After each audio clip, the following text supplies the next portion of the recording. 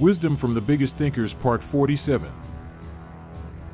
John Bardeen once said, The combined results of several people working together is often much more effective than could be that of an individual scientist working alone.